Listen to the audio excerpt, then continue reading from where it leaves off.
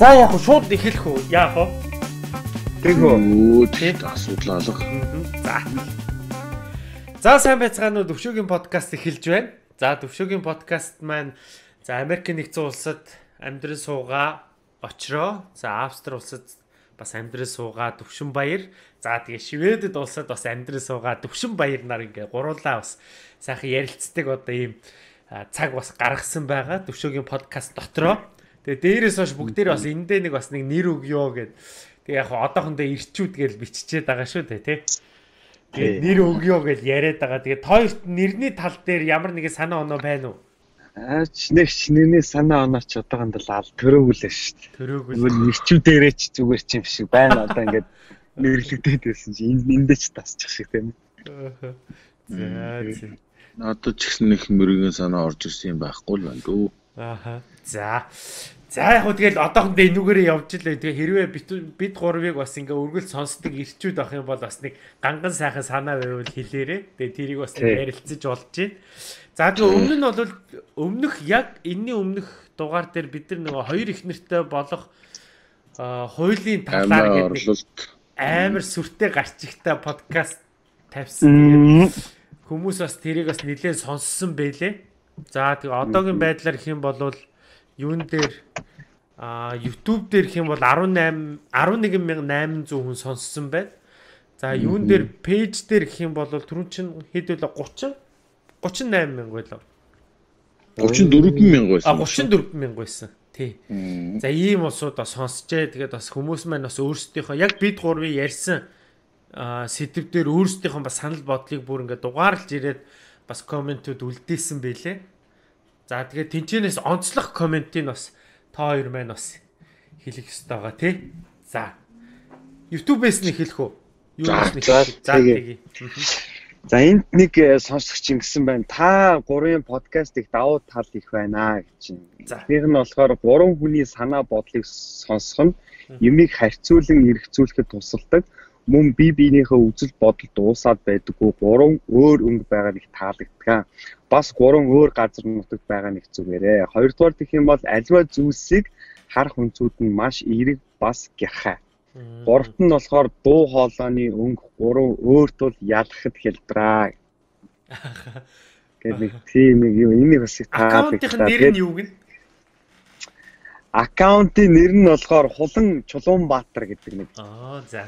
Хулан битсэн байна. Тий. Тэгээ ерөнхийдөө бол бүгд үзэл бодлоо. Бүх хүмүүс л айгүй их 70 бараг 80-аад комментүүд байна. Тэгээд бүгдээрээ л үзэл бодлоо ерөнхийдөө хуваалцсан. Энд нөгөө хоёр их нэртэй хууль яхаар ихэнх хүмүүс нөгөө цус ойртол болох юм шүү гэж бас харсан байгаа юм тий. Аа. Тий. Тиймэрхүү байна. Аа. За тэгээ хуланд баярлалаа. Баярлалаа. Тий, баярлалаа. Аа би энэ ч бас эргээг бид гуравтаас айгуугаа урам өгж байгаа байхгүй тий. Тий. Тийм байгаа. За хулангийн комментиг YouTube-ээс бид гурав бас онцолж хэллээ. За Facebook дээр. За Facebook дээр бас цус ойролтын тухай бичсэн байна. За сая тэрийг хэлсэн юм чи энд бас өөр хүн гэсэн байна. Гуа номин дэлгэр сүрэн гэдэг хүн. Монголд бол яг одоогор сэтгэл зүй бүр дээд зэрэгтэй тултал хөгжөөгүй байна. Харин хүүхдүүдтэйгээ сайн ярилцах хэрэгтэй байна. Аав ээж нар маань би ч яг энэ замаар өссөн, аав маань баг байхад өнгөрсөн, ээж маань за энэ хүний хувийн юм баг шиг энийг уншаад явахтай бас ийм байсан юм байна. Аав ээж нар ер нь л ихэнх айл салсан байдаг байсан. Ганцхан би гэлтгүй миний найзуудаас хүртэл тэр үед тийм хүүхэд байлаа найзуудаас илүү эцэг их бол маш сайн ярилцаж чаддаг. Харин төдийлөн найзаасаа ч юм уу үе тэнгийнхнээс хангалттай мэдээлэл авч чаддаг бай. За ер нь айгүй урт үчсэн юм байна. Ерөнхий утга нь бол тийм л юм байна л да. Нөгөө нэг тийм орч одоо нөгөө хүнд орчинд өссөн хүмүүс найз нөхдөсөө буруу мэдээлэл авдаг ч гэдэм үү сэтгэл зүйн тал дээр бас анхаарах хэрэгтэй. Аав ээж нь гол утга нь бол аав ээж болон хань ээжлүүд хоорондоо сайн ярилцаж ойлголцож явах хэрэгтэй гэсэн санаа л байна. Тийм уншихаар бас арай л урт байна уучлаарай. Тий. За тэгээд өөрсдийнхөө үзэл бодлыг бүр ингээд цаг гаргаа те ингэж бас коммент баярлалаа тий. Битсэнд маш их баярлалаа. Тэгээд миний бодлоор за Төвшөө дуусгач дуусгач тий. Сүүл рүүгээ энэ комент өчж байгаа хүмүүс маань айгүй гоо сэтгэл гаргаж бас их гоё ингээд задлж бичээд ах шиг л харагдаад байгаа надаа. Аа. Тэгээ тэгэхээр нөгөөх нь арай жоохон уртуулаад байгаа хэл та. Гэхдээ ер нь их сайн гоё л байна л да. Надад бол их таалагдж байна. Тэгээд ингэж их сэтгэл гаргаж комент ütсэн хүмүүстээ баярлалаа. За тэгээд ерөнхийдөө бол надад бол ингээд комментиг нийт нэгэл гүйлгээл YouTube дээр ч тэр за YouTube-ийнх нь бас нэг арай өөр бичиж байгаа өнцгийг хараад байгаа усуд нь арай өөр байгаад шиг надад харагдсан. А Facebook дээр байгаа комментууд нь бас нэг арай нэг YouTube-ээ бодох юм бол нэг юмыг аяараа өнгөцгөн дүгндэг усууд нь тэн дээр илүү их комент бичсэн болов гэж надаа миний хувьд л тийг санагдсан ш. Ягаад вэ гэхээр нөгөө гарчгин дээр нь айгүй их тэгж тий ач холбогдол ач холбогдол өгөж гарчгин дээр нь айгүй их одоо дөрөөлж юмнуудыг айгүй битсэн тэрнээс биш яг ингээд дуустал нь сонсоод энэ гурван хүн энийг дэмжиж байгаа мó зарим нь бүр огт сонсоочгүй ээжэж энийг яг дэмжиж байгаа ч юм шиг байдлаар ингээ өөрийнхөө сэтгэлдлийг илэрхийлсэн байсан тий тийм ажиглагдчихсэн. Тэгэхээр миний бодлоор зүгээр ингээ нийтэд нь ингээ хараад үзэхэд юмны гарчинд бити бас хуурдаг дараа тий энэ гарчиг гэдэг чинь ерөөсөө тэрний талаар магадгүй өөрийнхөө үзэл бодлыгоор одоо тий зөв илэрхийлсэн ч байж болно эсвэл шал өөрөөр ч илэрхийлсэн байж болно. Тэр альва нэг юмнаа мэдээлэл авах гэж байгаа бити гарчгийг нь уншаал яг тэрүүгээр нь ойлгож байгаараа гэдэг юмыг л бас хэлмээр санагдсан надад л. Тэ? Хоёр тим ажиглагдсан уу? Ажиглагдсан, ажиглагдсан. Тэ. Тэр нэг жоо харамсал сонсчих юм бол хүний яг өөрийнх нь хэлэх гэж байгаа санаа илүү их гарах байх л да бүгдийг ихлээд эхнээс нь дуустал сонсчвол тийм ээ. Тий Яг нэг гарчгийн тийм байсан болохоор гэр бүлийн талаар одоо нэг хоёр ихнэрийн тухай хүмүүс их юм битсэн байсан. Яг үндэ бол дотор нь тэрнээс өөр бас хоёр сэдв байж исэн. Тий. Тий. Би бол хоёр ихнэртэй гэхээсээ илүүгээр бас амиа орлуулалтын талаар ч юм уу хүмүүс илүү их анхаараасаач гэдэг юм уу те одоо хэрвээ ингээд нийгэмд үнэхээр их тулгамдаад байгаа асуудал мөн болвол гэдэг тал дээр бас тиймэрхүү байр судалтай суурьтай байсан. Тэр яг нэг тест байгаад өнгөрцөн байж болно л доо. Гэхдээ бас бүгдийг ихлэ сонсч хүмүүс сонсцсон болвол бас нэг тий бүтэн сонсож байгаа дараа нь сэтгэл ütсэн болвол бас арай жоох өөр байхсан болоо. Одоо яг одоо ингэ хэлчихэж байгаа юм чи цааш цааштай тэгэл хүмүүс маань өөртөө яах вэ хэл та. Тэгэх бах тий. А тэгээд бас цааш цааштай сонсох усуудаа бас хандаад хэлэхэд ерөөсөө бид гурав бол бас цааштайгаа цааштай энэ энэ подкастаа ингээд гуруула гурван өөр өнцгөөс тий гурван өөр газраас бүр онцлоо тий гурван өөр сэдвэр ингээд ярилцаж байя гэдэг одоо юун дээр санаан дээр бол шийдвэрт шийдвэрт хүрсэн байгаа. Тэгэхээр бол өнөөдөр төвшөө ямар сэдвийг хөндөж нөгөө хоёртойгоо ярих нь уу? Манай Австрийн төвшөө бас яаж ярих нь уу? Очроо маань ямар сэдв хөндөх нь үү гэдэг маань сонсож байгаа усууд ш тэр орж байгаа бид нарт ш тэр айгүй сонирхолтой байна л да. Тэгэд үндсээ сэдв рүүгээ орцгоох уу те? Тэгээ. За орцгоё доо. За хинээс эхлэх үү? Төвшөөс эхлэе. За би өнөөдөр хамгийн сүүл ярина. За би өнөөдөр тоо хоёрыг хүндлэхээр шийдсэн. Хүндлээд. За. Окей. За тэгвэл нөгөө төвшөө нэхлэе. Тий нөгөө. За тэгээ. За тэгэхээр би өнөөдөр бас тоо хоёртой юуны талаар ярилцмаар байна вэ гэхээр а одоо энэ нөгөө тойш гэсэн бас одоо очроо маань Америкт байгаа Аа нөгөө төвшөө маань Австрт байгаа тий. Тэгэхээр энэ Австрт байгаа, Америкт байгаа энэ яг залуучууд, яг залуу гэр бүлүүд яг бидний үеийн тий. Энэ залуу гэр бүлүүд юу гэр бүлээ ирчүүд нь яг яаж авч аваад байна. Та хоёрын бас нэг ажиглаж харсан юм бас байгаа байлгүй дээ тий. Юу н яг яаж ингээд аа монголчуудаас нэг энэ нь арай өөр юм уу да надаас арай энэ нь өөрөө өөр юм уу да гэж бас нэг бодож харж исэн юм аа бас нэг хуваалцаач ээ ажиглаж исэн юм хуваалцаач гэж та хоёроос бас хүсэх байна. Тэ. За би эхлэх үү? За тийм. За тийм. Аа энэ Америкт байгаа залуу гэр бүлүүд одоо аав гэр өрхийн тэргүүн яаж гэр бүлээ авч явж гин гэхээр яг бүгдээрээ нөгөө энд ирээд ирсэн нэг зориг байгаад байгаа шүү дээ тийм ээ. Аа Тэгэхээр тэр зорилго нь зөвхөн миний яг ойр хавьд байгаа хүмүүсээр хөвчлэн ер нь ихнэрүүд нь сураад аа нөхрүүд нь ажил хийгээд эхнэрийнхээ сургалтын төлбөрийг олоод ар гэрээ нэг тэгж авч яваад байгаа юм шиг байгаа. Ер нь одоо эсвэл би яг тийм хүмүүстэй нь очиж найзлаад байна эсвэл те. Өөртөө зовлон адилхан гэдэг шиг тийм хүмүүстэй очиж нийлээд байна. Зүгээр яг харахад нэг тиймэрхүү л байгаа. Нөхрүүд нь ажил хийн, эхнэрүүд нь сураад хүүхдүүдэд хардаг ч юм уу. Тиймэрхүү л юу байна да. Амьдралын хэмнэл явагдаад байна уу? Тий. Аа. Одоо тэгэхээр Америкт яг ингэж явж байгаа гэр бүлүүдэд за ер нь нийгмээс нь ч гэдэг юм уу тийм болцоо юу нь яаж олгогдоод байна? Тэр нь тэрэн талаас нэг жоох яриачгүй. Нийгмээс олгож байгаа боломж гэж юу? Тий одоо хөнгөлөлт ч гэдэг юм уу? Залуу гэр бүлүүдэд зориулсан. нэгч тийм хөнгөлөлт мөнгөлөлт нэг байгаад тахгүй. Яг хуу 2 3 хүүхэдтэй байх юм бол жилийн эцээр яг нэг такса бодуулж аав. Тэр ойролцоо нэг 4 5 мянган доллар авчин. Бас тэр чинь бас нэг э, нэг юу болчиход байгаа юм. Тэрнээс ч нэг айхтар шууд юу байхгүй. Ер нь мөө ирчүүд маань л өдөр шөнөгөө нүдчиж л амьдралыг авч яваад байгаа шүү дээ.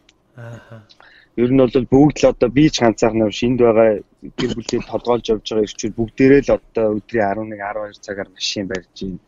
Тэгээ хүмүүс яг харахтаа машин бариад мөнгө хийгээд байна гэд амархнаар бодоод байдаг боловч яг үндэ бол энэ ч бас хэцүү ажил байгаа даа. 12 цаг машин барьж явна. Тэгэхээр тэгэхээр бас මේ ирчүүд тэгээд гэртээ одоо ихэнх ирчүүд юм би ч гэсэн өглөө хүүгээ унтчихт нь гараа явна. Орой унтчихт нь орж байгаа байхгүй. Тэгэхээр Монголд байгаа залуучууд бас адилхан л тийм байгаа л да тийм. Технээс шиг ирчүүдийн баяр тэмдэглэж болохгүй тий. Бас хэцүү юм чинь. Бид нар чинь одоо архитарс бас жоох хэтрүүлээд уучаар маргаашийн ажил алдагдсан. Маргаашийн ажил алдагдах юм бол 7 хоногийн ажил алдагдсан. 7 хоногийн ажил алдагдсан. Сарын ажил алдагдсан. Тэгээд ингээд салгарчаад байдаг байхгүй. Тэгэхээр ер нь бол хитүүлж уудаг хүн ч одоо энэ баг байхгүй болсон. Төө бүгд тааруулаад нэг жоохон нормал да за одоо хайрцгаая гэж. Гэл нэг хайрцгаадаг тийм. За. Тийм л. Тэгвэл Америк бас бодож ирснээс шал өөр биш үү? Тийм бай. За, манай төвшөөгөө. За, тэгэд энэгээр бас залуучууд их байна л та ихэнх нь одоо винд бол ихэнх нь оюутнууд байгаа болов гэж би бодоод байд юм. Би бас яг нарийн сэлж чадахгүй байна. Тэ тэгэл үеийнхэн бидний үеийн залуучууд дэшээ доошоо ах дүү ч гэдэг юм уу тиймэрхүү хүмүүс харж байхад яг л ер нь бол Америкт адилхан юм л дээ л тэ. Бүгд Америкт Австрч гэлтгүй ер нь гадаадд байгаа монголчууд бол би тийм байдаг л байгаа л гэж бодож байна. Ажлаа хийцгээгээл Тэгээд хажуугаар нь одоо энийг бас хүмүүс их ойлгосоо л гэж би бодоод идгий. Энд байгаа хүмүүс ажил хийдэг, хажуугаар нь сургууль сурдаг. А энэ хоёрыг зохицуулна гэдэг чинь бас их асуудал واخгүй юу? Сургууль чинь дандаа одоо их хвчлэн өглөөнөөс өдөр хүртэл ордог ч юм уу, өдөөс хойш ордог ч юм уу тэр цагийг ажлынхаа цагтаа тааруулна. А хэрвээ тааруулж чадахгүй бүх хүн болгонд яг тийм бололцоо байхгүй гоххой нөгөө нэг ганцхан ажиллаа хийгээд явах эсвэл ганцхан сургуулаараа сурах. А гэхдээ тийм залуучууд зөндөө байна л да. Эцэг эхчүүд нь мөнгөний бүгдийн цаанаас нь төлждөг одоо энэ тийм байрны мөнгөний бүх хангамжийг нөгөөд за чи наана очоод 3 жил сурчаа тэр 4 жил сурчаа тэр гэх тэгээд сураад төгсөөд явж байгаа залуучууд байна. А гэхдээ ийм залуучууд маш ховор. Одоо тийм болцоотой гэсэн үг шүү дээ. Энд ирж байгаа ихэнх залуучууд яг л адилхан л байна бүгдээрээ ажиллаа хийн хажуугаар нь сургуульдаа сурна. А хичээлдээ жоохон шамтчих юм бол энд байгаа амьдрал нь хэцүү болчихно. Байрны дүрээсээс хулаад энэ зардал ихтэй шүү дээ. Тийм. Тий. Тэгэд ажиллаа хийгээд явчих юм бол хичээлээ алдчихна. Аа хичээлээ алдчих юм бол виза алдна гэсэн үг. Энд оюутнууд жил болгон виза сонгуулдаг байхгүй юу? Нэг жил визний хугацаа нэг жилээр өгдөг. А тэгэхдээ их сургууль бол тэгдгийн манай сургууль тийм л байсан. Доотлол нь нэг семестрийн 8 кредитийн хичээл хийцэн байх хэвээр. Одоо шалгалтанд тэнцсэн байх хэвээр гэсэн үг шүү дээ. Тэгэхээр жилийн 16 16 кредитний хичээл хамгийн багадаа хийцэн байх хэвээр гэсэн шалгуур. Тий. Тэгэхээр одоо энд амьдарч байгаа бидийг юу гэж ойлгож болох вэ гэхээр жил болго 16-гаа хийчээд хажуугаар нь ажиллаа зохицуулаад амьдраад идэв юм байна. А энд чинь гэр бүлтэй хүн бол одоо бүр ганц бие хүнээс илүү л их одоо хичээх хэрэгтэй болно гэсэн үг баг л та.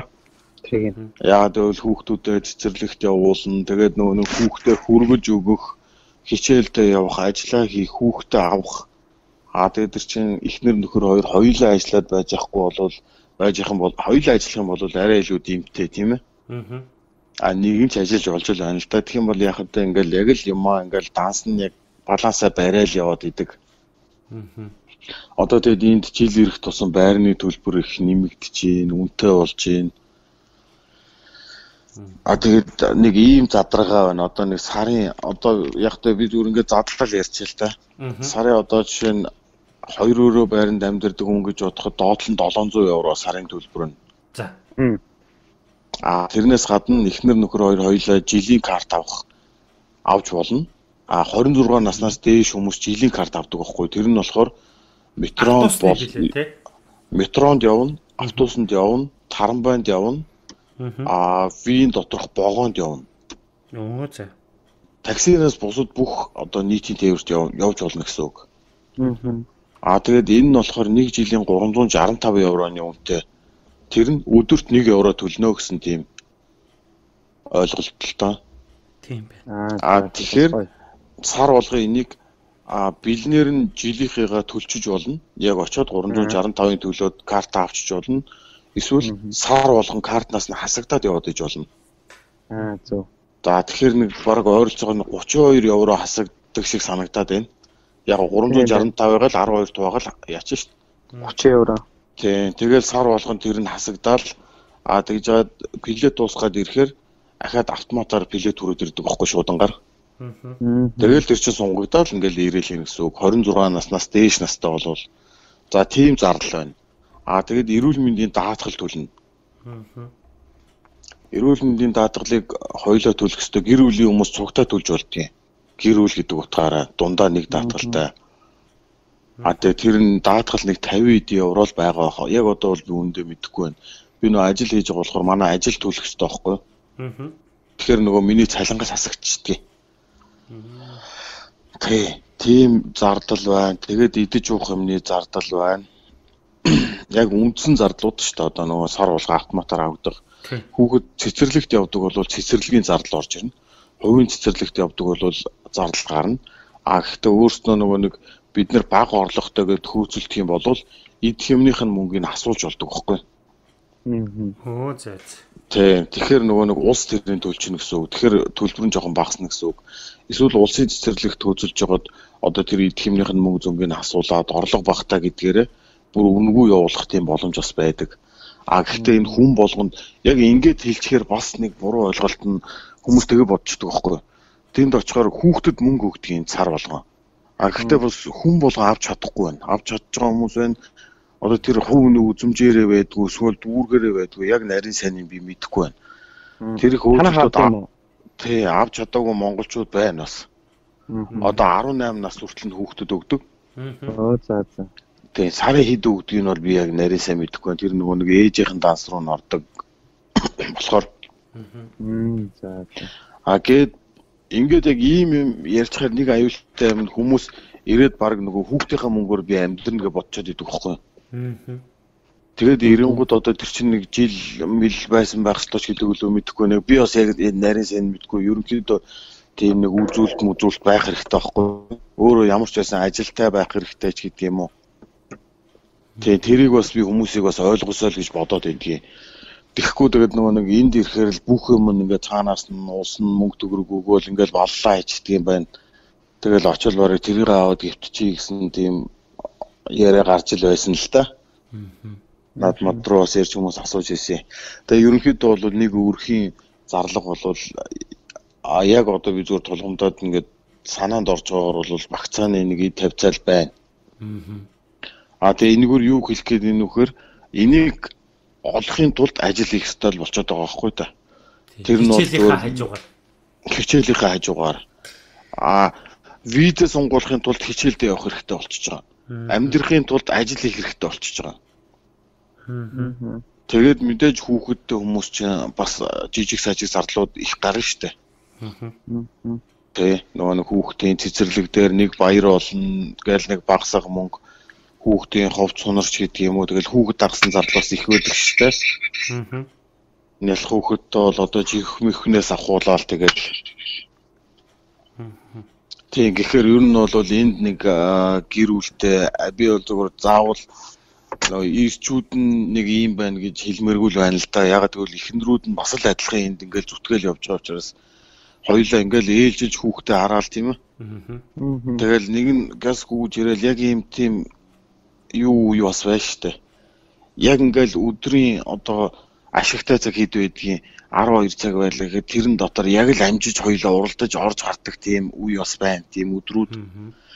Би яг ажиллаад харах юм бол буцаал гүүгээд ирэхэд эхнэр ажиллаа тарчаад хүүхдүүдээ авд тавьчаад тэгээд буцаад юунда хичээлдээ явдаг ч юм уу. Тэгээ яг нэг нэг нь байхгүй л бол бочдод идэг тийм бас тулгамц үед байна л да.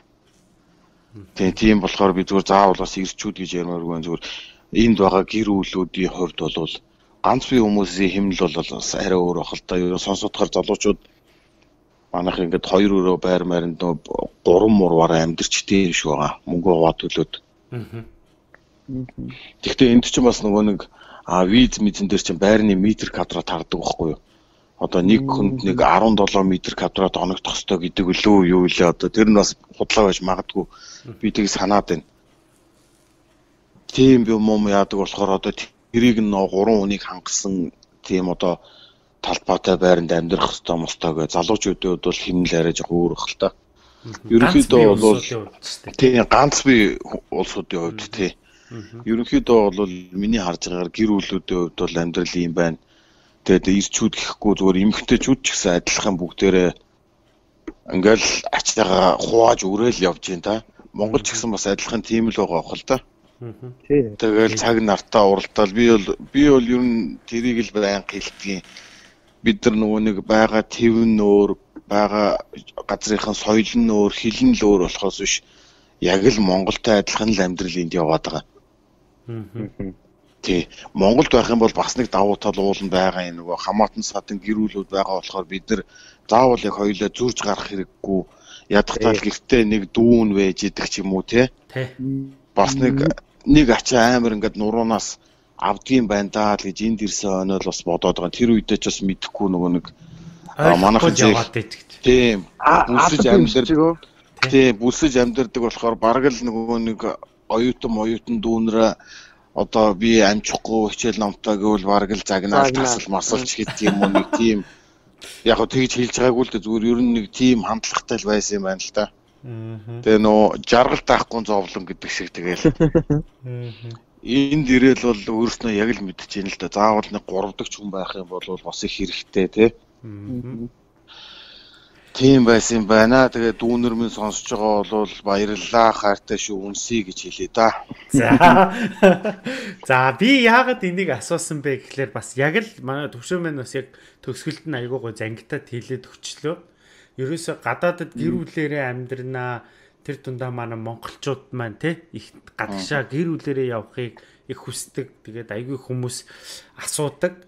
Аа тэгээд хамгийн гол нь энд нь би бас энэ яг миний саяны гаргаж ирсэн сэдв бас тодорхой хэмжээгээр хариулт өгсөн болов гадагшаа хэрвээ үнэхээр л амьдрах гэж байгаа бол таныг бол яг л ийм л одоо тий амьдрал хүлээж байгаа. Тий ер ихний ээлжинд а тэгээ магадгүй ямар ч хүн байж болно шүү дээ. Цаашаа өөрөө өөрийгөө яаж л яаж хөгжүүлээд бүр тусдаа бизнес эрхлээ мундаг яваач усуд байна. Гэхдээ тэр чин дөнгөж очиод 1 2хан жил дотор ингэн гэдэг бол айгүй хэцүү. Тэ? Өөрийн гэсэн бизнестэй болохын тулд одоо шивэдэд дэлхийд дор хаяж 10 жил болсон байна, тэ? За тэгээ мөн л одоо ялгаагүй манай төвшөөгийн хэлснээр манай очроогийн хэлснээр өдөрт доотлон тэгэл 9-оос дээтлэн 12 цаг ажиллахаас өөр аргагүй байдалд ордог. Тий. Тэгэхээр чи тэгжээж л одоо тэггүй л бол одоо яг хүний нутагт амьдрал зогсчих гээд байдаг учраас энийг бол хийхээс өөр аргагүй тэгээд ирчүүдээс гадна ихнэрүүд нь ингээл бас л ингээл хамаагүй ингээл те яг зэрэг ингээл зүтгэжээж л гадны нутагт яг ингээл нэг гайгүй хүүхдүүдээ хүн болох гол ингээл зүтгэдэг. Энийг бол маш олон монголчууд манаас хичээгээл ингээ харж байна. Тэгэхээр Монголд амьдарч байгаа залуу хосууд маань бас та бүхэн бас өөрсдөө тий Монголдо ямар амьдарч байгаа гадны нутагт хүмүүс яаж амьдарч байгааг гэдгийг бас нэг бодоод үзээрэй. Өдрийн 8 цаг ажиллаад ажил хэцүү байна гэж ажлаа таслах ч юм уу, ажлаасаа хоцроот ч гэдэм үү тий. Тэр ажлынхаа цалин голдох ч юм уу иймэрхүү байдалтай гадагшаа явах юмсан тэнд л өстой жиг хөдөлмөрийнхөө үр шимийг өнлүүлэх хийсэн гэж бодож өдр байгаа бол Монголтой ажиллаж байгаа ажлаа бас нэг харьцуулж нэг эргээд нэг бодох тэр шансыг бас энэ сэдвэрээ бас олгох юм билүү гэж бодож энэ сэдвийг гаргаж ирсэн. Аа. Тийм. За ийм байна. За дараагийнх нь За би нас сэдв дээр чи нэг юм хэлчих байхад. За тийм. Товчхон. Тийм. Тий энэ бол би залуучуудад хандаж хэлэх гээд байгаа. Одоо цаг үе бас өөр болцсон бид нар мэдээлэл авах боломж их. А хэрвээ гадагшаа ирэхийг хүсэж байгаа бол маш сайн судалж иж ирэх хэрэгтэй. Хизээж бити харанхуй ирээрээ. Харанхуй ирснээрээ 2 жил хэлний курсээ хийгээд буцаж байгаа залуучууд их байна. Одоо цаашаа явхаа болчиход ингэсэн үг л дээ. Тэгээд тэр чин бол мэдээж эрэхтэй өчнөө зардлаар ирж байгаа шүү дээ. Доор хаяж онгоцны пилетний мөнгө тийм ээ. Тэгээд энд байх байрны мөнгө энтергээл эцэгийнхээ ингэж ирж байгаа. Тийм учраас хэрвээ залуучууд зоригтой бол зорилгынхоо төлөө өөрөө сайн ирж хайх хэрэгтэй.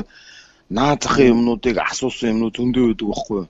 Одоо нь аа Винд би их сургууль сурахын тулд Винд ямар ямар их сургууль байна энэ гэсэн асуулт А хэрвээ чи хүсэх юм бол энийг интернетээс хайхад бүгд байж байгаа байхгүй юу?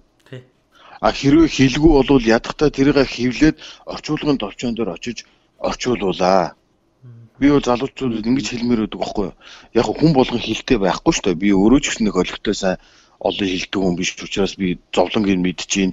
А гэхдээ хэрвээ хүсэж байгаа бол хүсэл зорилгынхоо төлөө юм зарлагдад сур. Бүх юм үнгүй байдгүй маа. А үнгүй мэдээлэл бол хүнийг энд авчраад 2 жил болгоод буцаад юм а гэдгийг л би хэлэх гээд байгаа байхгүй юу? Тий. Тийм учраас та нар өөрснөө өөрийнхөө төлөө явж л байгаа бол юм зарлагдах хэрэгтэй, толгоогоо сайн ажилуулах хэрэгтэй, ирж хайх хэрэгтэй. Монгол ч гэсэн зөндөл боломж байна. Одоо хэрвээ үнэхээр мэдгүй байгаа бол тэр мэрэгжлийн хяналт байдаг байрны засгийн газрын байрны хажуухан талд нь маш олон орчуулгын товчоо байгаа. Аа Тийм. Тийш очиод мөнгөнд төлчих юм бол тэнд нэг хуудас ихэдчихүүлээ тэгээд өсөг мөсгөр нь чөлөөд үгээр нь чөлөөд орчуулуулад өгчдөг. Тийм учраас би залуучуудыг бас тийм зүтгэлтэй байгаасаа гэж боддог байхгүй. Зөв зөв.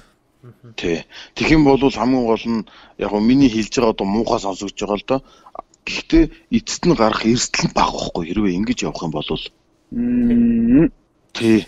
Тэгжэл бодож би хэлж байгаа болохоос зүгээр нэх амир ингэж одоо юу гэдгийг одоо нэг жоохон загинж байгаа маягтай ч юм уу тийм бол биш шүү гэдгээ эцэст нь хэлье. Аа. Манай залуучууд ойлгож байгаа бах уу? Залууч мэдж байгаа одоо энийгээ сонсож байгаа. Яг мэддэг юм ярьчлаа гэдэг. За. За, хэд төвшөө чи хамгийн сүүл сэдвүү хөндөж ярих гэдэг байгаа шүү дээ, тий. Тий, одоо очрогоо хөндлөн шүү дээ. А за тий. За, миний асуух зүйл болохоор дадал зуршил. За. Хоёрын амьдрал яг одоо хэрэгжиж байгаа дадал зуршлууд чи юу вэ те? Өглөө ахуулаад өглөөнөөс ахуулаад одоо нүүр гараа угаа шүд амаагаа гэдэг чинь бас нэг дадал шүү дээ тийм ээ. Яг ингээд зүгээр бас илүү бас тийм сурхаар нэг юм дадал зуршлын юм байна уу гэж би зүгээр сонирхож үзэж байгаа. Дээрэс нь муу зуршилтай байж байгаа тэр зуршлаасаа салсан бол яаж? Аа. Тэгээ бас тэрийг хуваалцаач гэж нэг асуух. Аа. За аль төвшөнд хэлэх үү? За би хэлээ дөө. Тий, сая сүүл. За. Оо би сая нэрээс нь ярьсан шүү дээ. Гөө. Тий, төвшөө ярь дуусаа чи нэмж хийсэн байхгүй юу?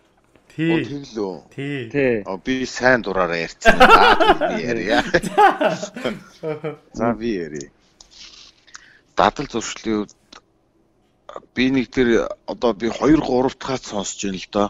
Аливаа зүйлийг 21 хоног яг дараалуулж хийгээд ах юм бол дадал болдог гэд. За тэр одоо шинжлэх ухаанаар баталцсан уу яац одоо айгүй олон хүн тэгж яриад байна. За дадал 21 өдөр 21 өдөр тийм дараалуулаад хийх юм бол хүний тархинд зуучдаг шилөө. А тэгээ миний би яг чамаа хэлгээд сая асууж явах чинь бодож исэн миний яг толгойд орж байгаа ганцхан дадал бол би гаднаас орж ирээ гараа угадаг. Энэ бол миний ерөөсөө бүр яг багасаа суусан дадал واخгүй. Тэгээд яадгүй угаахгүй байхаар яадгүй гэхээр гар нэг юм эвгээр гэдэг байхгүй нэг юм хүн нэг юм таа. Үгүй наалтахгүй нэг өөрт нэг юм дотор таагүй мэдрэмж төрөөд идэг шин. Аа. Тий. Мэдхгүй ингээд нэг гар ингээд л харахад цэвэрхэн байгаад идэг. Тэгтэл би гаднаас гэрте ороод ирсэн штэгээл бодхоор л ингээд нэг юм юмнаас барьж болохгүй шиг надад санагдаад байхгүй. Аа Миний багаас тэгээд яатсан тийм бохор байгаа л гэж л бодогдоод яг тэр нь бол том болол бодогдож байгаа юм л да. Багада нөгөө нь ингээд гаднаас орж ирээ гараа угаадаг гэж сурцсан. Тийм миний одоо нэг супер дадал тийм дадал байна. За хоёрдугаар дадал бол би хувцас сандал дээр их үт тавьдаг. Аа багтаа бид нар нөгөө нэг цэцэрлэгт байхдаа цэцэрлэгээс орж ирээд хувцснуудаа бүгдийг ингээд цэцэрлэгийнхаа хувцыг ивхээ сандал дээр тавьчихдаг гэсэн. Тэгээ гэрийнхаа хувцыг өмсдөг. Аа. Миний дадал одоо хүртэл явж байгаа. Одоо тэгтээ нөгөө жоохон томроод аама болоод ирсэн чинь занхаагаад энэ яагаад энэ зарим хувцаас ихэхгүй зүгээр сандал дээр тавьдаг бас болсон. Тий. Жоохон бахтаа уул нөгөө жимбит л ихдэг байсан. Аа. Тэгтэл яг сандал дээр тавьдаг нь хэвээр шкаф руугаа хийдгүү би. Яг өмсөж орж ирсэн хувцас сандал дээр тавьчихдгийг. Тэр бас миний дадал юм уу да. Миний одоо ерөөсөө яг байн дагж байгаа тийм нэг хоёр дадал байна. Муу зуршил гэвэл байна одоо тэрийг ярмааргүй л энэ доо. Тэ ер нь муу зуршлигоос хаях гэж бас л ер нь боддгийн тэгээд яг алхам алхавч бас өөрөө айхтар санаачилж одоохондоо хийгээгүй л байна л да. Тэгэл зөвөр өөрөө бодоод л яваад идгийн бас тэрийг нэг зохицуулж хинсаал гэсэн бодол байдаг шүү. гэж их нэртэй хандаж хэлээ да. Бодож байгаа гэдэг чи юу гэдгийг би барыг таарч би ч бас мэдчихлээ. Тэгээд яг нөгөө сонсож байгаа хүн болгол ер нь баг мэдчихэж байгаа юм чинь тэрийг заавал хэлээд яах юм зүг тэрийг бас бодж л явдаг шүү гэдгээ хэлээ да. Аа. Тий. За за ойлголоо. Өөр тийм муу зуршлыг дарсан арга байхгүй юу? Харин тэрийг нэг дарсаа дарсан. Тэгээд яг детальчлаад ярьчих юм бол яа чин дарчаад буцаа галтраа унтсан юм чи одоо тийм яа. Бүтлгүүтцэн гэж. Тэгээ уул нэг хэсэг явсан юм аа тэгж чагаад буцаад ятсан. За ойлголоо. За. За төвшөөг. За миний одоо за дадал зуршил юм бол яг нөгөө хэний хэлдгээр 21 хоног яг хүн ингээ хийх юм бол дадал болдог гэж тэр бол үнэн байх л та. Тэгээд хамгийн их одоо дадал зуршил одоо надад одоо амьдралд маань гүн суулгаж байгаа газар бол одоо яг энэ шивэд болж хувирээд байна. Яг зөвхөр хөссөн үсээгүй л яг л өглөө босоод яг нэг л ажиллаа хийхгүй бол болохгүй болол тий ингээл өглөө овсоол тэгэл яг тодорхой цагт ажиллаад тодорхой цагт гэртээ харьдаг. Тэгээ энэ бол ингээд нэг талтай айгуу тийм уутгартай ч юм шиг мөртлөө ингээл энэ байдлаар одоо яг сүүлийн 4 жил бол яг ингээд амьдарч байна. Аа Монголд бол яг одоо ингээд ажил руугаа мэдээж бол явдаг гэсэн. Ажил дээр очиод бол хийх юмнууд нь бол ингээл ингээл янз янзын юм хийгээл илүү сонирхолтой байсан болов уу гэж тэрийг одоо энд ирж байгаад мэдж байгаа байхгүй. А энд ирсэн хойно бол яг л ингээл яг ажил дээр очиод нэг л юм хийдэг ингээд энэ нь бол бүр ингээд сүүл рүүгээ бүр ингээд утгагүй ч байгаа шиг би яг юу хийгээд байна гэж бодох бодмоор ч юм шиг юм болж байгаа байхгүй тий. Тий тэгээд энийг нэг ёстой энийг дадал зуршил гэхээр ингээд хүссэн үсээгүй ингээд орчин байдал хүнд бас ингээд амьдралд нь ингээд оруулдгийн байна гэдгийг аягуулсан ойлгож авсан. За миний одоо яг хувьд төвшин баярын хувьд одоо орж өөртөө ингээд нэг тийм дадал хийдэг юм нь юу вэ гэхээр ингээд одоо юуг мэрчмдээ би нэг бас нэг тийм шинээр дадал бий болов уу? Аа юу амьдралынхаа одоо тэр нэг ингээд нэг үнцэн яваад байгаа нэг өдөр болго нэг адилхан юм хийгээд байгаагийн завсраар одоо нөгөө нэг нэг жоохон нөгөө юун дээр би тамир дээр нэг жоохон анхаарахаар шийдээд за сүүлийн 2 7 хоног яг ингээд завсраар нь оруулж эхлэх байл л да. За одоо өглөө өглөө өглөө чинь би нэг ажилдаа явахаас өмнө 7 цагт босдгийг. Одоо нэг 6 гэж босдог болоод нэг өөртөө нэг яг зөвхөн биеийн тамирт нэг зориулаад нэг цагийг зарцуулдаг болоод сүүлийн тий гүйдэг 2-7 хоногийг үтсэн. А ер нь боломжийн биш үү? Эхлээд нэг жоохон хэцүү байсан. Тэгээ нэг жоохон тэмцгэл хэрэгтэй юм бэлээ. Тий тэгжээж одоо яг одоо миний насны улсууд нэг одоо яг бидний үеийнхэн чи яг яг эдийн наснаасаа л эхэлж өөрийнхөө бие хаатаага тий яг тэмцэлдэх тэр үеэ эхлэхгүй болвол ер нь ингээд 50 туучих шинжтэй надад санагдаад Тий. Тэгээд тэгвэл төвшөө нэг 21 өдөр нэг гүүгээд гэж. Харин тий одоо яг наадах чил би яг яах гээд 14 хоногийн л одоо эхний 2 7 хоногийн ард гарчаал байж байна. Тэгэл одоо өөртөө суулгах 21 хоног гүйсний дараа 22 дугаас өөрөө бас яг гүйж эхэлж гин бас. Ааха. Тий. Энэ гүүлт бол яг ингээ гүүгүүд ахаар яг сурчт юм байл шүү. Би бас нэг хэсэг гүйж жин хайжсэн штэ. Ааха.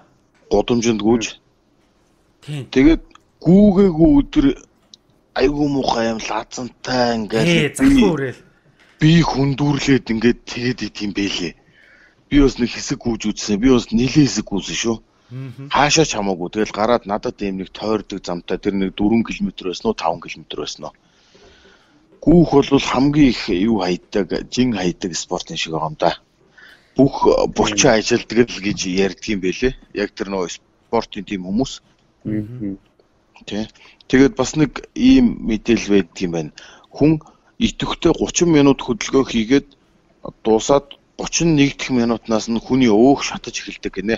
31 дэх минутнаас. Тий. Тэгэхээр хүн нөгөө нэг өөхөө шатаа гэж бодож л байгаа бол 30 минут ингээд бэлдэж ийн гэсэн үг юм байна л да. Хөдөлгөөн хийж. Тэгэл 31 дэх минутнаас нь таны өөх чинь шатаад эхэлж байна гэсэн үг. Тэгэхээр одоо чинь гүйдэг юм уу, дугуй ундаг юм уу гэх юм бол доод нь одоо 40 минут хийх хэрэгтэй ч гэдэг юм уу. 30 нь бэлтгэл л вэ штэ. Тэгэхээр үлдсэн 10 минутанд нь өөхөө шатаачж байгаа юм байна л да. 10 минутанд одоо тэр калори шатааж ийн гэсэн үг юм байна. А хоёрдугаард хитрхи их таргалалттай хүмүүс гүүж болохгүй гэж шүү бас. Аа бас Яагаад гэвэл нөгөө нэг өөрийнх нь нөгөө кидс мэдсэн жин хүнд байдаг учраас өвдгөнд нь юу өгдөг гинэ. Нөгөө нэг юм өвчнөд болдог гинэ өвдөгний. Нөгөө юм даралт нь ирээд идэг юм болов би зүгээр тэрийг харах ханаараа бодсон шүү. Ямар ч байсан тэр спортын юм бол тэгдэм байна. Тийм учраас тийм хүмүүсийг дугуй унахыг зөвлөдөг юм байна. Аа, даралт өгөхгүй хөлөнд. Тий. Дугуй унах юм бол нөгөө бүх чин нөгөө суудал дээр ирчин. Одоо нөө гэртээ ундаг дуу байдаг шүү дээ. Тэгэхгүй бол би бас бодож исэн байхгүй. Энийг бас их олон хүмүүс мэдээсээ. Тэгэхгүй нөгөө нэг хүмүүс чинь гүүхэл юм бол турна гэдэг нөгөө битүү хувц өмсчөөд гүүгээд идэг. Тэ. Энэ минийга бас сайн зохицуулж ямар юм шиг байна. Спорт ихээр чи хүний зүрхний хэмнэл чинь бас их ингэж их болдго юм биш нөгөө цохилт нь минутын цоглох цохилт нь тэр мөрийга бас анхаарч нөгөө зүрх мөрх нь өвддөг болвол бас тэр мөрийга эмч мэмчээс асуудаг юм уу те. Тий, тэгэхээр биш зүгээр гүүхэл болвол сайн спорт гээл гүүгээд идэг юм уу эсвэл бол төмөр үргэл юм болвол сайн гээл учир зүггүй бас өргөөд ээж болмооргүй юм шиг үлээл те. Нэг жоохон шийдлэг ухааны үндсэлтэй те нэг эмч мэмчэд очиж идэг. Яг хэр оргийн хүнж очихгүй би мэдчихэл байна л да. Зүгээр ер нь бас өөрөө нөгөө нэг би хаана асуудалтай болвол бас зөвлөгөө авч юмар юм шиг байна. Тийм байна. Тэгэхгүй нөгөө нэг зүрхнийх нь нөгөө ачаалан дийлэхгүй зүрх нь нөгөө буруу техниктэй фитнесийн дасгал хийснээс зүрхний өвчтөй болдог энэ төр гэж бас би нэг юу бичлэгнээс үзчихсэн шүү. Тэгээс нөгөө тийм бодибилдер өөрөө ярьж байгаа. Тэгэж нөгөө нэг анхан шатны суралцагчдад. Тий. За тийм нэмж хэлэх юм байна. За. За одоо би муу зуршлаа ярих уу яах вэ? Тэг. Оо яг уучлаа. За муу зуршил гэх юм бол би сая хэнийг бас ярьж байгаад бодоод байсан. Би ч ер нь айгүй муу зуршил багтаа хүн юм байна шүү дээ ер нь. За өөрийгөө магтаад хэлэхэд тэр хиний төвшөөгийн бүдэрсэн юм надад байдгүй юм байна. За. Тэрийг мэдээж авлаа. Дөрөөлж байгаа л ярих юм байна. Тэгээд яг хуу нэг юм нь э, юуг зассан бэ гэхээр нөө би өмнө ингээд нөгөө нэг жоохон нэг имийг одоо одоо жишээ нь ингээд нэг ном уншиж байхдаа ч юм уу сэгэлчээл ингээд хайчаад идэг байсан бол одоо харин трийгэл нэг бүр ингээд засах гал тэрнтэйгэл одоо маш сайн ойр үед айгүй их тэмцэж байна. Тий одоо нэг одоо нэг киногоо үзнэ гэд ихлүүлсэн байвал эхний нэг хэдийн юу нь яачаал тэгэл ингээ хайчдаг ч юм уу. Яг ингээд нэг ингээ яачаад нэг зуурч авчаад тэрийгэ дуусахгүй тэгэл бодоол яваад идэг. Тэгээ тэр бол миний жоохон бас нэг айгүй дутагдaltaй чанар юм болов гэж бодлоо сая. Тэгээ одоо бол яг энтэйгэл тэмцэж байна. Тэгээд одоо яг нэг том ном бариад авцсан байгаа. Тэгэл тэрийг яг яг тэрэнд дуусгахна гэсэн хугацаанд л аль болох дуусгах гал үзээд байгаа шүү дээ. Тий. Нэг хугацаа за энэ номыг би нэг за нэг юм 400 хуудастай ном байхад за би энийг нэг 3 7 хоног дуусгана гэж зорилт тавьцвал тэрэндээ л яаж хийж байгаа л дуусгах хэрэгтэй. Гэтэ аль болох юмын доторхыг нь ойлгох хэрэгтэй. Тий. Тий. Гижил бодоод байна. Аа. Тэгээд зөв хариулт өгч чадсан болов гэж бодоод байна шүү дээ. Тий. За. За би энэ дээр бас нэг юу яахад би энэ нөгөө юг яхаас өмнө одоо энэ сэдвийг олохоос өмнө бас нэг юм сонсож байгаад олсон байхгүй. Яасан гэсэн чинь нөгөө Michael Phelps гэдэг Америкийн нөгөө усан спортын сэлтийн авраг байна шүү дээ. Бээжингийн Олимпиас 8 алт авлаа гэдэг 2008 онд ч нэг шуугуулсан. Тий, тэр хүн яадаг вэ гэсэн чинь нөгөө баг багтай одоо тийм манайхан ч нэг гожигдоо гэж ярьдаг шүү дээ 10 жилдээ хүнд ингээд дээрлүүлээд нэг тим нөхрөө хүүхд байсан юм байна л та. Тэгээ ээж нь аваачаад тэрийг хараад за ерөөсөө хүүхдээ нэг спортоор явуулъя гэдэг аваачаа сургуулийнх нь усан спортод явуулсан юм байна. Аа Тэгээд ээж нь бас их э, юу гэсэн гинэ тэр хүүхд айгуу тийм дим өгсөн гинэ. Яадаг гэсэн чинь ерөөсөө чи над усын спортоо нөгөө хүүхд чинь нөгөө э, гожигдоо хүүхд чинь тэндээ дургу байгаад байгаа шүү. Тэгсэн чи ээж нь харангуйцаа за чи ерөөсөө наатаа дадал болох. Тэ? Өглөө уулны эрт сэл хийдэг юм аа л хий. Аа. Тэгээд нөгөө хүүхд чинь тэрийг дадал болгоод ингээд мундаг спортын хүн болно гэж бодоогүй шүү дээ. Тэгэл өдөр болгон ирээд нэг хийгээл байдаг гэсэн. Тэгээ одоо ч гэсэн яадаг гэсэн чинь нөгөөдгөө л хийдэг те. Өглөө болгон ирж хийдэг, өдөр хийдэг, орой хийдэг. Тэгээд хамгийн гайхалтай нь олимп болно, дэлхийн авраг болно, нөгөө л хийдэг юм бол хийдэг гэж. Аа. Тэмцээн боллоо гэж одоо бэлдээл бүр ингээл амар хурдтай явдаг үдээ. Бүү нөгөө 10 20 жил барыг 10 хэдэн жил босон дадлаа нөгөө том том тэмцээнүүдээр нөгөө л хийдэг юм аа л хийдэг. Тэгэл тэр төрүүлчдэг 8 алт авдаг. Английн Лондонгийн Олимпиас бас хийдэгч авсан гэдээ яриад байлаа тийм. Тэгээ би бас энийг бодчихэд нэрээ бас өөртөө бас нэг дадал бий болгомоор юм байна гэдэг.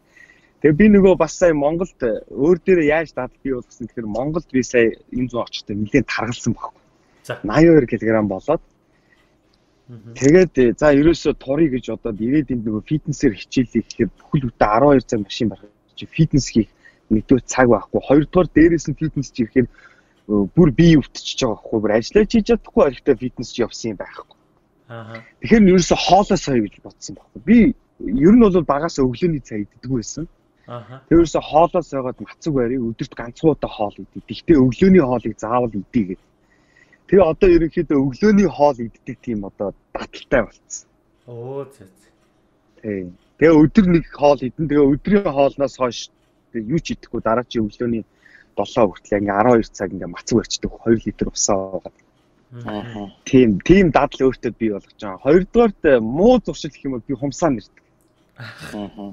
Ер нь бараг л их хүмүүс хумсаа мэр. Миний ингээд ойр хавьхан бас ингээ харахаар бүл ингээд хумсаа мэрээд зарим бүр ингээд хумсаа бүр тал болтол нэрсэн. Би ч бас арай нэг тал болтол мэрээгүй. Гэхдээ ер нь их нэрдэг байсан байхгүй юу?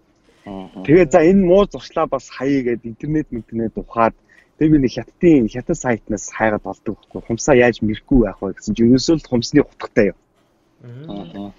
Мэрхгээд ирэнгүүт тэгээ сабит наваа ичиж байгаа юм чинь. Тэгээд мэрхэн байхгүй. Тэгээд чи одоо ингээ би мэрч чадахгүй болсон. Тэгээ ерөнхийдөө одоо нэрдэг зуршил маань одоо байхгүй болсон. Тийм. Хумсны утга нөгөө түлхүүрний оосор нь хумсны утга болсон. Мм. Тэгэл ингээ хумсаа аваад явчихсан. Тийм л юу байна да. Аа. Нэрэ тийм биш тий. За за баярлалаа. Нэрэ дараа нь ингээд юуг нь ингээд тайлбарыг сонсгоор нэг ямар нэг онцны төлхөөрийг тайлж байгаа юм шиг санагддаг юм биш үү? За. За манай төвшөг За одоо нэг асуулт байна. За. Энэ асуулт асууя. Асуулт асууя болгоно уу гэдэг. Тойроос би нэг компьютер тоглоомын талаар асуухсан. Энэний талаар юу гэж боддог? Одоо сүүлийн үед e-sport гэж ярьж штэ. Тэгээл би хараад байсан хүмүүс нөгөө нэг нь утасныхаа тоглоомод ч юм уу донтцсныгоо одоо e-sport гэж яриад яваад их юм. Тэгээд байгаа юм шиг надад санагдаад байгаа юм. Аа тэгээд тэргүүрээ ажил болгож ийн гэж байгаа. Одоо тэргүүрээ нөө хүмүүс одоо хоорондоо бооцоотой тоглоол тэгэл мөнгө олж байгаагаа л ажил гэж ярьж ийн тий. Энэ талаар та хоёр ямар бодолтой байдаг вэ? Энэ үнэхээр яг e-спорт уу хэрвээ e-спорт бол ямар төвшөнд баймаар санагдаж байна? Эсвэл бол бүх ийм утсаараа ч юм уу компьютероор тоглодог хүн болгон одоо нөгөө нэг тэр e-спортын тамирчин мөн үү ч гэдэг юм уу? Тэгээ нэг тим нэг талаас нь тоо хоёр нэг санал бодол байна нөхөө хэлээч. За төвшөө тэгвэл. За миний бодлоор бол за яг үндэ бол би энэ компьютер тоглоомын талаар бол ёстой үндэ аач байхгүй. Өөрөө сонирхдогчгүй. Аа тэгээд миний ойр орчмын улсууд бол ингээд аа яг л ёстой нөгөө утсан дээр тоглоомоо тоглоол те ингээд байгаа олон сайхан залуучуудыг харж ил байна л та. Ер нь энт ч тэр а Монголд ч тэр бас байна гэдэг байгаа юм. Тэ? Баахан жоохон хүмүүсийн дунд ингээл нэг нэг том залуу очсон. Ойрлолдоо ингээл тоглож байгаа эдрийг өөрөө хүртэл нүдэрээ хараад зүгээр л яг үндэ тэр залуучуудыг харахаар айгуу тийм харамсах сэтгэл төрдөг. Одоо манай ажил дээр ч тэр эсвэл одоо өөр бусад залуучууд ч тэр ингээд нэг савл ивэл уцаа бариад тэгээд уцаа бариад мэдээлэл үзэж байгаа юм уу YouTube үзээ янз бүрийн үзээд байгаа юм болов уу харахаар тоглоом тоглож сууж яддаг байхгүй. Тэгээд би хувьдаа болохоор нэгдүгээр цаах тэр хүний сонголт тэр хүн өөрийнхөө тэ өөрт олцсон цагаа юу зарцуулах нь тэр хүний сонголт. А гэхдээ яг үндэ бол цаагаараа бол хайр үнэт цагаа хайрын одоо ажил дээрх одоо тий нэг өөрийгөө амраах ч гэдэг юм уу өөрийгөө цэнэглэх ч гэдэг юм уу тэр цагаа шаал дэмий юмд надад зориулж байгаа мэт санагддаг. А бас ингээд зарим нэг залуучууд гэртээ ирчингүүтээ их нэртэйгээ ч гэдэг юм үр хөвгтүүдтэйгээ тоглох гэр бүлдээ зарцуулах цагаа тэр юм тэр нэг утасныхын тоглоомдоо зориулаад байгаа нь үнэхээр харамсалтай санагддаг. Тий. Зүгээр л надад энэ бол айгуу тийм харамсалтай мэтэл санагддаг. Тэг яг хөтэ энүүгээр өөрийнхөө стрессийг тайлаа, энүүгээр одоо өөрийгөө ингэж байгаа бол энээс илүү гоё стрессээ тайлах, энээс илүү те үр бүтээлтэй цагаа зарцуулах зөндөө болцоо байгаа. Тэгээд нэг зүгээр нэг том том тоглоом бүтээгчдийн компани сурчлагаант ч гэдэг юм уу тийм юм хууртагдаа тэрний бай болоо яваад байгаад л харамсдаг. Чи тэ e-спортын талаар юу гэж бодож байна? Энийг би энийг би бол спорт гэж надад бол ерөөсөө бодогддгүй маа. Энийг хэрвээ спорт гэж хэрвээ хутхыг бол оюуны спорт руу холихол байх л да. Чи биеийн хүчний ажил хийхгүй чи тарих маш их ажиллаж байгаа учраас. Гэхдээ энийг оюуны спорт гэж бас ойлгоод энийг интернет чи тарих ажиллаж байгаа, тарих хөгжиж байгаа гэдэр гэж ойлгох юм бол энэ шиг том эндүүрл надад байхгүй байх гэж боддог. Аа. Тий. Яг үндэ бол оюуны спортын талаар тэр хүн бол аач байхгүй e спорт гэж холж байгаа бол гэж л би боддог яг усууд яг надад тэгж хэлж ирсэн. G спорт ч тэгээ спорт тэгвэл спортын бол наа чи би билдер чи ямарваа нэг юм чи хөгжих ч юм уу эрүүлжүүлэх ёстой үсттэй гэсэн чи үгүй чи тарих хөгжиж байгаа байхгүй юу гэдэг байхгүй. Тархиа тэгж хөгжүүлж байгаа бол үнэхээр харамсалтай. Тархийг өөрөөр хөгжүүлэх энээс илүү үр дүнтэйгээр хөгжүүлэх өчнөө юм байгаа байхгүй. Тий. Би тэгж л бодож байна. За баярлалаа. Одоо манай очрогийн хувьд юу гэж бодож байна? Яг би албан ёсны байгаа тийм. Тий амар албаны асуусан. Би болохоор бас яг төвшөлтэйг адилхан энэ спортод спорт гэх юм одоо юу гэх юм бас их дургу. Би баг багта PC-ийн томж аваад одоо тэр юунаас хордлого аваад. Тэгээ тэрнээс хойш ерөөсө тоглож та болцсон баг. Одоо Dota, Counter Strike. Тиймэрхүү юм. Ер нь бол жоохон дургу. Манай найзууд их тоглодог. Би тэрийг надад үүсгдэг. Тэгэхээр одоо энэ бас яриан дээр жоохон үүсгэл баг. Тийм ээ. Гэхдээ e-спорт гэхээр яг зөвөр ингээл мэдээлэл эдгээр ингээл уншихаар ерөнхийдөө спорт болцсон үнэн. E-спортоос төрж байгаа сая гууд маш их гарч ирж байна те. Тэгээд дийлийнх нь одоо үүднээс Солонгосоос гарч ирж байна, Хятадаас гарч ирж байна, Японоос гарч ирж байна, Америк, Европоос их гарч ирж байгаа те. Тэгээ би одоо энэ Америкууд одоо тэгж их одоо e-спортоор хичээлээд энэ Dota гэдэг тоглоомыг тоглоод идэв юм. Тэгэхээр энд нэг ширхэгч PC геймний газар байхгүй. Нэг ширхэгч байхгүй. Зөвхөн нэг юм Солонгос хороол гэж жижигхэн газар нэг ганц байвал байна. Тэр дотор хүн байхгүй. Аа. Тэгэхээр юу гэдгийг нөгөө эдгэр чинь өөрсдийн гэсэн зөндөө олон гой хоббитой учраас тэрийг нэг сонирхгүй байгаа даа байхгүй. Тэрнийхээ PC тоглохын оронд далай дээр очиж серфинг хийж чинь. Дугуй унчиж чинь тий. Зөндөө олон хобби байгаа учраас манай Монголд чинь хобби ер нь жоохон таар шүү дээ. Жоохон таар шүү дээ тий. Дугуй уня зам байхгүй. Одоо нөгөө нөгөө төгөр наадуул чинь гихтэл байгаа л да яг e-спортынхаа би тий яг нөгөө ч бол гихтэй байгаа. Гэтэ тэр их жинхэнэ утгаараа ажил болгоод цаг болгоод менежменттэй тий маркетингтэй одоо тэр мундаг зохион байгуулалттай л дэлхийд өрсөлдөд байгаа байхгүй. Зөвхөн Америктай ингэж авах ш. Тэгэхээр бас яг энэч бас одоо манай Монгол залуу гэр бүлүүдийн ганц өвчний толгой болчиход толгойн өвчин болчиход байгаа шүү дээ. Бүхэн гисийн тооноод байна тий. Нэг бол намайг сонго, нэг бол хүүхдээ сонго, нэг бол над PC-гээ сонгохоор зав ээж баатар ахиж хараатгах гэж нэг тийм амгаа. Тэр шиг яг толгойн өвчин болцсон. Тэгээ сүүл би бас нэг найзтайгаа яг ингэж ярьж исэн байхгүй юу? Мань хүн өөрөө тоглох дуртай те ингээд тогломоор байдаг. Даанч ихнэр нь тоглоулдаггүй. Хүүхдээ харгаа. Тэгээ нөгөө манай чи тогломоор байгаа гэдэг. Тэгэхээр би тэгсэн байхгүй. Чи дүүд өгшөө яг л нөгөө 7 хоногт нэг өдөө өөртөө цаг зав гаргадаг тэр чи тэр PC тоглоомол тоглолч. Тэгтээ их биш те. Бүтэн өдөр чинь гэж өсрөөл 3 цаг Бүтсэн өдрийн өглөөний 9-өөс 12 хүртэл би дотоогоо тоглоно. Хитрүүлэхгүй 12-оос хитрүүлэхгүй тэгэл болоо. Тэгээ их нэртэй бүр ингээд суулгач. Их нэр чинь ч гэсэн тэрийг хүлээгээд авна. Тэгэхгүй бидэд яадаг вэхээр ажиллаа таарангуудлаа за суух уу. За суу юу. Нэг суухаараа шинжэнгөө алга болчихдог. Бүтэн хонуудаар нөгөө жоох хүүхдүүд шиг тийм. Тэгэхээр л дутаггүй болоод эхэлж байгаа юм байна. Аа. Тийм. Би бас жоохон энд дургу. Ер нь бол PC тоглож байснаас баг бааранд хүн амтнтай юм яриа явж исэн дээр гэж би хэлдэг байна. Тэгэхээр хүмүүс бас уурлаа юу бааранд архиулж байснаас PC-нд зүгээр ингээд тоглож исэн дээр мөнгөний чимэлттэй гэдэг юм аа. Тийм. За за за за. За миний хувьд бол та хоёроос арай жоохон өөр нь надад тийм авиас байхгүй юм байна. За багаас нөгөө манай найзууд найзууд их тоглодог байсан л та би ч тэгээ цуг мөг их явна л да. Хамгийн гол нь би сураагүй дуртайч нөгөө нэг чадахгүй. Тэгээ тийм учраас би ерөөсөө тийм сонирхолгүй юм байна. Тийм яг нөгөө компьютер дээр тоглодог тоглоомонд. Ерөөсөө миний ястаа сурч чадаагүй юм шүү дээ. Одоо нөгөө ра гэж байдаг байсан шүү дээ. За тэр ра би хордлого авч ирсэн тийм үү тоглож үзсэн. Тэрийг би бол амжилт хүн байлээ. Counter Strike байна. Тэгээд тоглохоор манай найзууд намайг багтаа авахгүй төлөө өрсөлддөг байлаа шүү дээ. Нөө сууг явж байгаа болохоор бас нөгөө ганцхан намаа гэж үлдээчээд өөртөө тоглоод иж болохгүй шүү дээ. Тэр үуч яг нөгөө бидний жоохон багт анх гарч ирсэн юм чи. Тийм шүү дээ. Тийм тэгээ би ч нөгөө анх гарч ирсэн болохоор бас би ч бас тоглох амар сонирхолтой.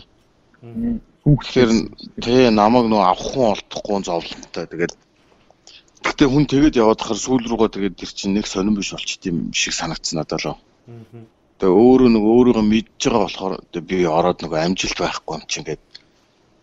Тэгэл одоо миний тэгж ер нь компьютер дээр хамгийн их тоглож ирсэн тоглоом гэдэг одоо юу вэ тийм болоо. Юу Need for Speed л байна да би. Хүүгээ гарсны дараа нэг Need for Speed л нэг тоглосон бахта нэг CD авч байгаа л За тэрнээс өөр компьютер дээр тоглосон тоглоом гэж бол надад бас байхгүй юм байна. Гэтэ яг ингээд ярьсан чинь бас нэг нэг нь тоглодог байсан бол бас арай сонирхолтой болохоос нугаагүй юу? Ямар сайн гуруулаа яг гуруулаа нэг сонирхолтой. Нэг нь бас сонирхоод тоглодог байсан бол бас Тэгвэл бас нэг яриа жоохон өөр яриа болох байсан байна. Хацаа арай өөр болох байсан юм байна тий.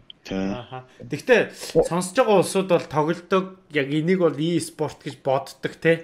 Би бол e-спортоор өөрийгөө тархиа цэнгэлдэг гэж боддог усууд ах юм бол танд бол бид гурвын те одоо комент хэсэгт бол өөрийнхөө сэтгэгдлээ үлдээх тэр болцоо бол байгаа шүү гэдгийг хэлмээр. Байна. Тэгээ хамгийн гол нь тэн дээр яагаад гэдэг том асуултанд л хариулчаарай. Тийм бол бид гур бас аа ингээд бас нэг тэ ойлгомоор шүү дээ. Тийм. Бид гур бас зүгээр гуруула ийм болохоор нэг жоохон тийм яриад иж ус магадгүй байхгүй. Тий. Залуучууд бас энийг гоё ингээд бас нэг өөр бас нэг ойлгохгүй хүмүүс ч зөндөл дээ. Ер нь ихэнх хүмүүс л буруудах гэж байгаа шүү дээ. Энэ компьютер тоглож байгаа хүмүүсийн чинь. Тийм шүү дээ.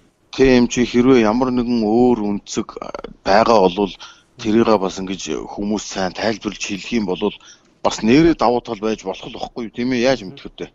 Яаж мэд? Гэхдээ би ингэж асуумаар би бүр тэр тоглоод идэг энэ нөгөө энийг бүр ингээ хамгаалаад идэг улсуудад за давуу талуудаа нэг сайхан давуу тал гэж яагаад нэг сайхан биччих.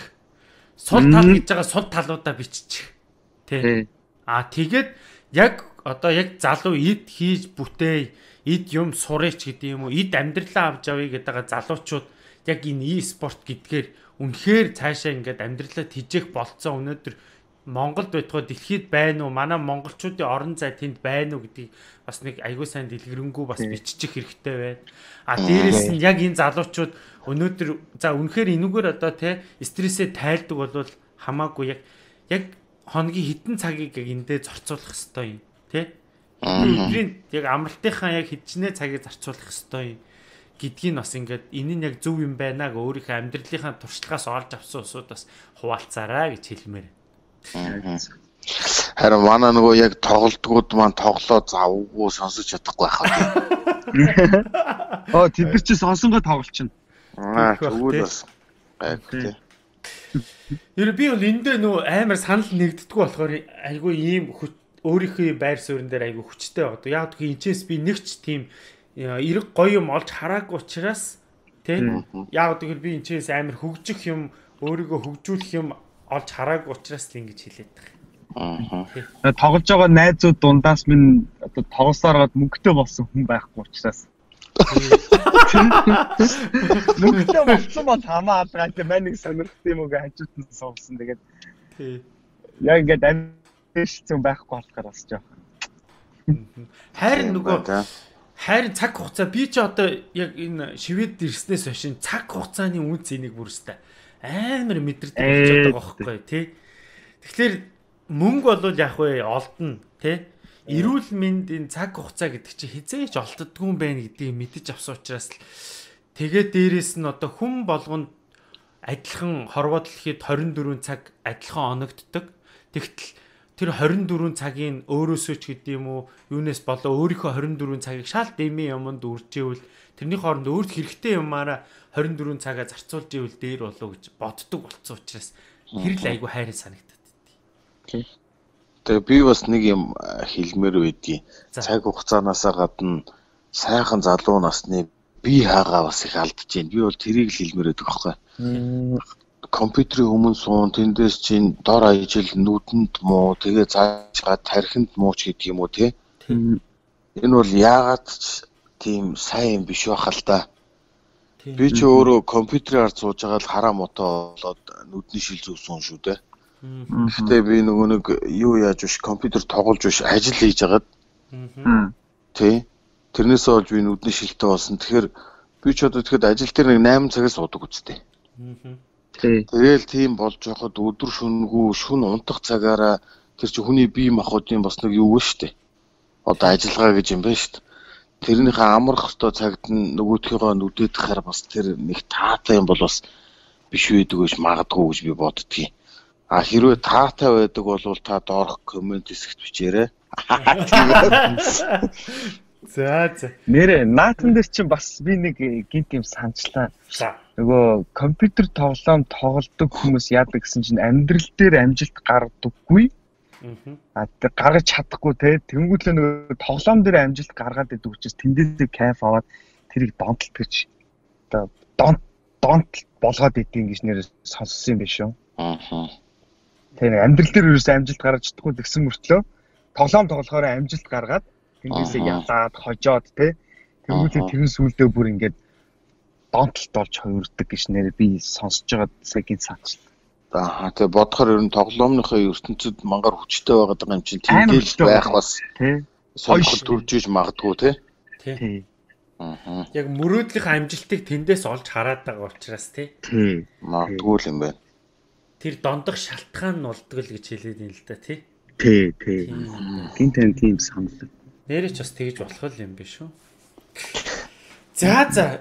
За тэгээд өнөөдөр бид гур бас ингээд тус тустай бас сэдв хөндөж ярилцлаа. Тэгээ энэ сэдв дээр та бүхэн бас комент хэсэгт өөрсдийнхөө тий өөрсдөө сэтгэгдлийг үлдээгээрээ заавал бид гуравтаа санал нийтэх албагүй тий заавал бас бид гурвыг амар үгүй штэ гэж амар эсэргүүцэх бас албагүй тий тий зүгээр өөрсдийнхөө санал бодлыг хэлээрээ тэгээ санал бодлыг солилцсноо гэдэг чинь өөрөө тэнчэнээс нэг юм мэдэж авч ийн. А эсвэл өөрийгөө бас нэг талаараа бас мэдэж авч ийн гэсэн би бас тэгдгийн болов гэж дүнэлтэнд хүрсэн штэ тий хүнтэй бас юм ярилцгаа За тэгээд өнөөдрийнхөө подкастыг энэ түрээд өндөрлөе. Дараагийн подкастаар бид гурав бас сайхан уулзалдаад бас гурван сайхан сэдвээр бас ярилцах болно. За тэгээд дараагийн подкаст хүртэл түр баяртай. За баяртай. За баяртай.